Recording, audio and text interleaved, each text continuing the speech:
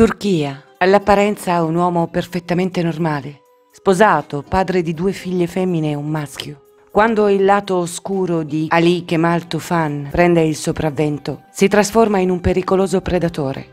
Nel 96 viene arrestato e tenuto in carcere per sette mesi con l'accusa di aver stuprato la moglie del vicino, ma viene rilasciato perché le prove non sono ritenute sufficienti. Commette il primo omicidio il 24 settembre 2001. Rapisce una bambina di 11 anni facendola salire sul suo furgoncino. La stupra e la strangola con una corda. Poi seppellisce il cadavere sotto un cumulo di spazzatura. Per cinque anni nessuno sospetta di lui. Il 19 giugno 2006 compie il suo secondo omicidio. Stupra ed uccide una bambina di 9 anni. Viene arrestato grazie alla denuncia del suo stesso figlio, ormai stanco di essere vittima delle sue violenze. Tre giorni dopo l'arresto, incapace di reggere il peso di un processo e l'odio dell'opinione pubblica, si impicca nella sua cella.